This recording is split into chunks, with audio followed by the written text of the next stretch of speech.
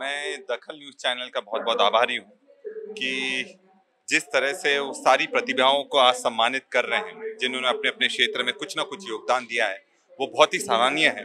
क्योंकि जब आपको कोई काम के लिए सराहना देता है तो कहीं ना कहीं आप में एक आ, अंदर से तीव्र इच्छा होती है कि उसको और कैसे बेहतर कर सकते हैं।